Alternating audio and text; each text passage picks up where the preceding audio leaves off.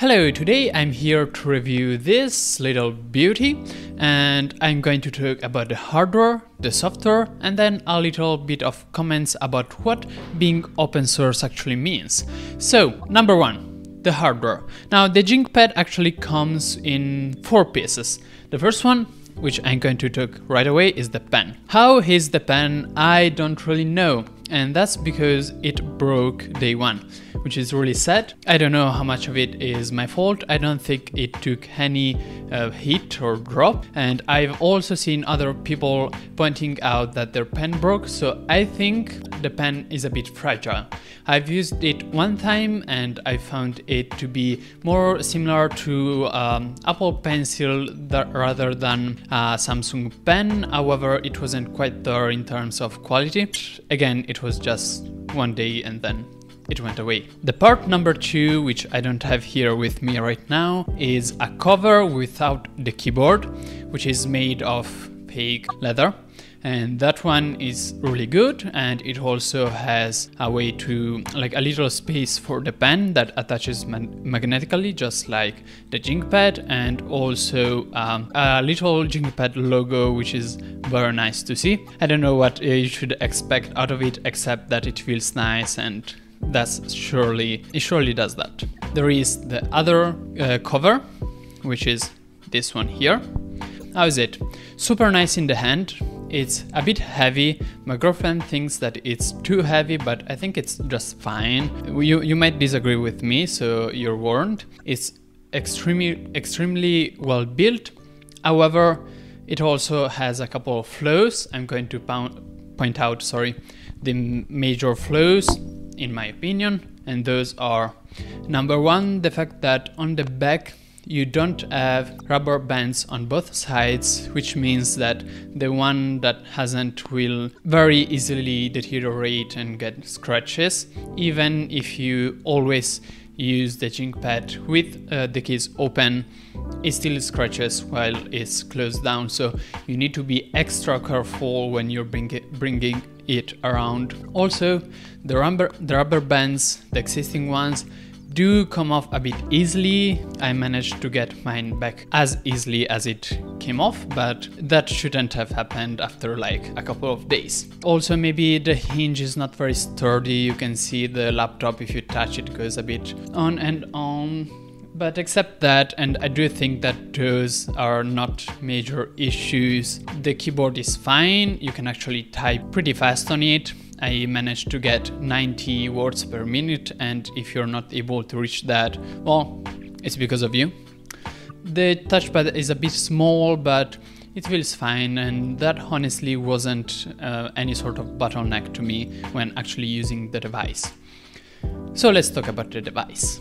Let me actually take it off. The device feels amazing, like very high quality. You got a glass back, metal on the sides, sorry, and uh, a very nice screen with with uh, small bezels all around. Honestly, I have nothing to complain about the very device, the very tablet.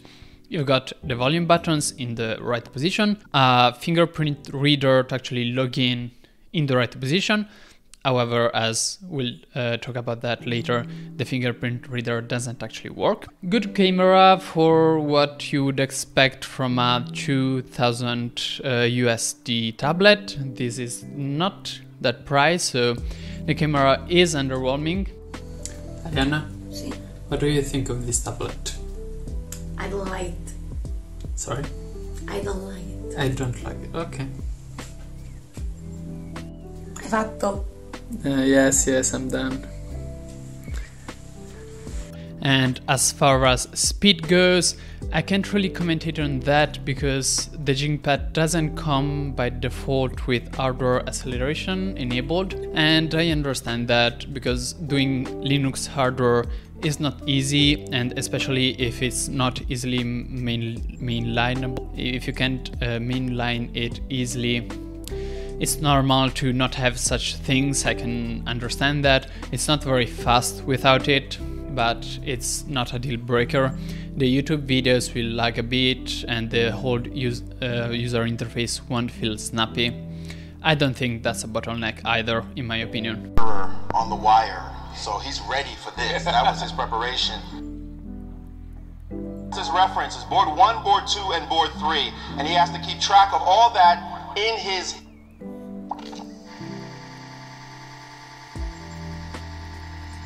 As far as RAM goes, storage, I also think those are very much not issues. Of course, you need to know what you're going to do with this. If you think that you'll be able to do any sort of uh, hardware work, like I don't know, video editing or picture editing with GIMP, if it's a large image, give up. Like, don't do that. That won't happen, not on this device. But if you're buying this device to, I don't know, take notes, school work, that sort of stuff, which is very much my use case, the, those are not issues. But there are others.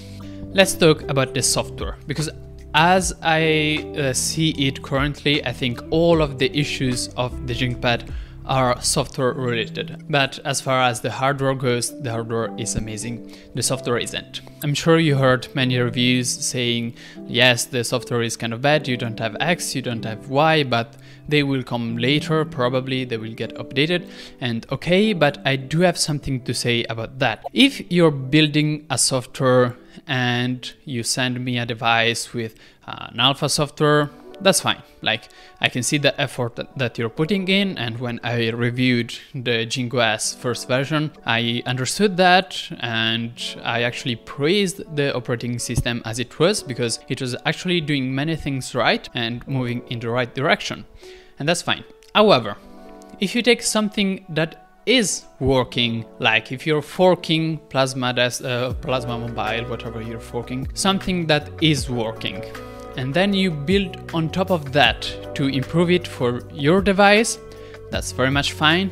But if the end result breaks something that was there before from the project that you forked originally, what are you doing? Like you're moving backwards. I'll make you a very easy example. So, keyboard layout. So, as you know, the JingPad has a keyboard, and in all devices, you can change the keyboard layout, especially if you're planning on selling that thing internationally. The JingPad has no such option in the settings, but okay, I, can, I can understand that. Like, it's not easy to do a full-fledged system setting application. If you look at the KDE Plasma one, it's gigantic. It would take years to redo it from scratch. So what did I do? I manually changed the keyboard layout from console and it doesn't work. And what's crazier than that is that it actually works, but only on Chrome and Firefox, whereas everything else stays with the uh, default keyboard layout. And that annoys me, because not only you're not giving an option to actually change the keyboard layout, but you actually did something like that broke changing the keyboard layout because if I go into my terminal and type, I don't know, loadkeys Dvorak, Dvorak as an example, it should work. And it's not just that. I'll make you another stupid example. Take the touchpad. Okay, you can take the touchpad and usually if you need to drag a folder from somewhere to somewhere else, you don't just do this on the touchpad, like click, click. Usually long click and then with the other finger you drag around the folder because maybe uh, the touchpad is not long enough. It's broken. It doesn't work. You cannot actually drag and drop or I don't know, just select text using two fingers. And that's a massive deal breaker. How, how are you going to select more than like two lines of text with it?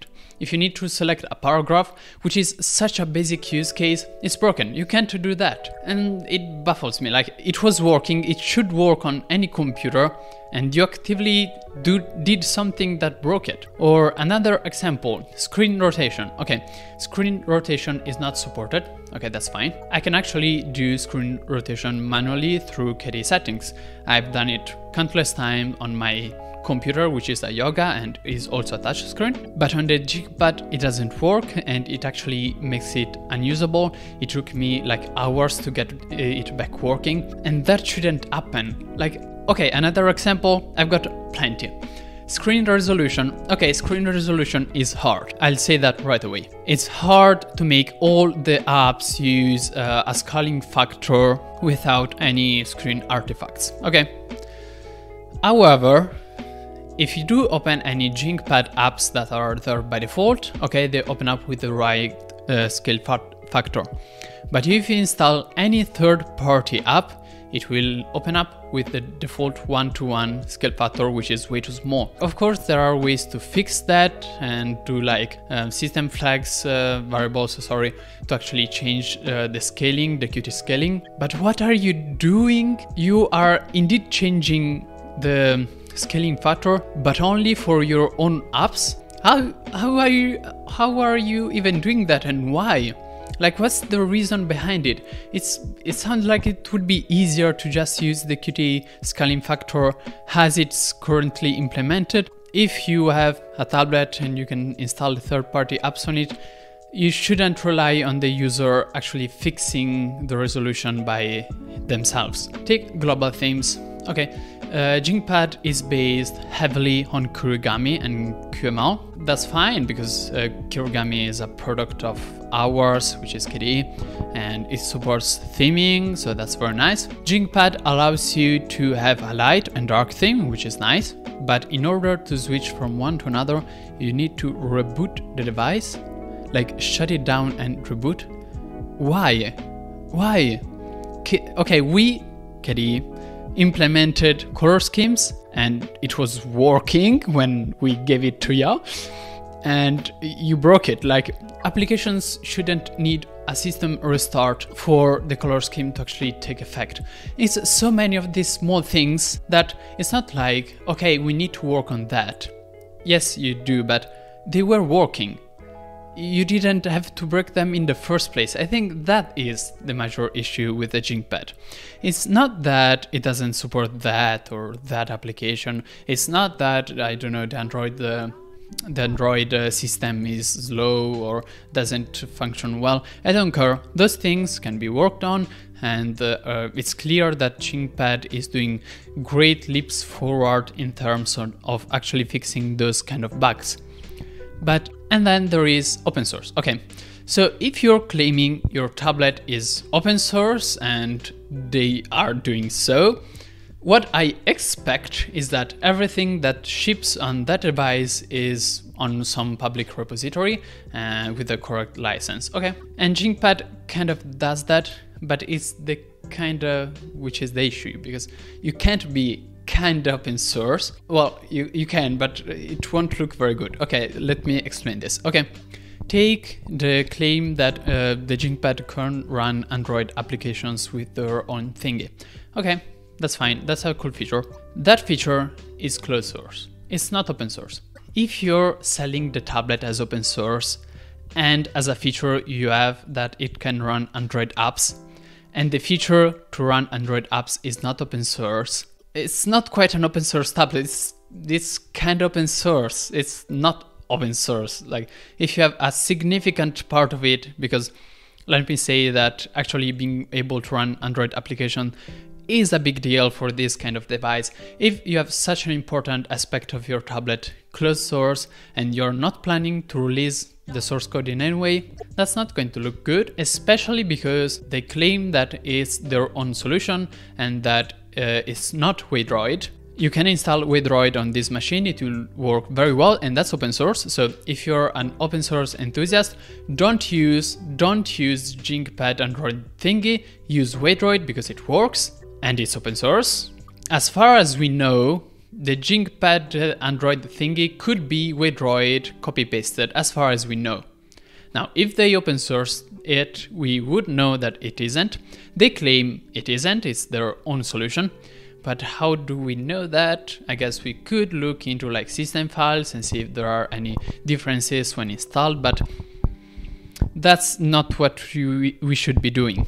And if you're asking why am I suspicious that the JingPad Android system could be Waydroid, okay, um, I'm not really. I do think that it is a different system. However, JingPad doesn't have a record of actually respecting GPL license very well. And let me explain that. As you know, if you fork someone's code and if it's under GPL, you are like you need to release the source code when you actually ship the device or uh, release your operating system. That's like legally required. You, you can do you remember like trump? Okay this video is going to get demonetized. Never mind. Do you remember that that guy's uh, social network? It was using mastodon and because they screwed up and actually accidentally said that it was based on Mastodon, Mastodon went up and said, okay, no, you have to release the source code of this, which they weren't. Jingpad is based on KD, many KDE Plasma or KDE products, and they modify them. And in theory, they should release uh, what modification they've made, and they do, months and months later which doesn't look good at all because you can't just say like we are open source and then you check and you discover that they're violating the license and you ask uh, what's up with that? And they answer oh yes uh, sure um, we don't have the time to fix that but we will eventually like open source everything. Just give us six months. Okay. Okay. They did. They did they actually open sourced the latest version of the Jingpad, of the JingOS. But as soon as another version rolls out, how many months are we going to have to wait to have the new modifications on top of what was there before? Now, to, to be kind open source, I think, is better than not being open source at all. And that's a fair point, and I do understand that they have a limited set of people that can work on these things, and actually making everything open source is not that easy, especially to newcomers to this open source thingies. I think that Jingling, which is the company, is working on this and is working on this very actively. I think they're trying to honestly understand what open source is uh, as much as possible because it's easy for new companies to not fully grasp what's going on. Jingling is working on this. Like, I saw people trying to understand, making good questions, and that's very nice. However, I have to tell you that in this moment, they still have to work on this because there are still some issues with how they deal with open source. To recap, hardware, I love it. I love the hardware. I think I would pay that price to have this if it ran KDE Plasma, which it doesn't. The software, it's okay. I don't want to bash it too much. It's a good start. It annoys me that they broke things that were working, but hopefully as soon as they fix them, well, I'll be happier. But I would be even happier if I could install any operating system on that thing and currently I can't. Is this useful? Should you buy it? If you care about open source, it might be an option. However, if you need a tablet to actually do work, this is not it. If you need a tablet to do work and you need a particularly set of application that only runs on Linux, then okay, this might be your thingy, but keep in mind that you're going to fight with the device to actually get things working. You're, I, have seen people saying, okay, I won't actually have to fight with the device because I'm going to install uh, ARM ARC on this thingy day one. Good luck with that. If you manage to, please tell me, please. There is an Android image and to install the Android image on the device you need to use Windows. There is or there will be shortly a Ubuntu Touch image and that's very nice to hear. Uh, but when I asked like the the person that actually worked on the Ubuntu Touch device if that could mean that you can install other desktop environments as flawlessly on this device, the answer was no. So I will do more videos talking about this exact device, but switching the software for Android and Ubuntu Touch. Hopefully, hopefully that will make uh, give me a better impression of the device because I do really love this hardware. But the software isn't there. I, I think that any reviews about the Jingpad says that the software isn't there yet. Okay, we all agree on that. So let's try something different and I'll keep you updated. Bye. See you at the next review. I'm getting I'm getting delivered a PinePhone Pro. I don't think I will review it, but I will happily use it and talk about you talk to you about that.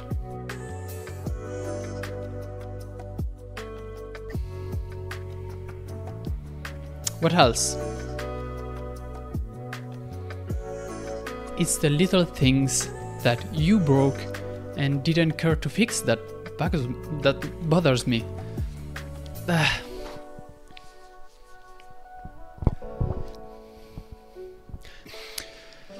um,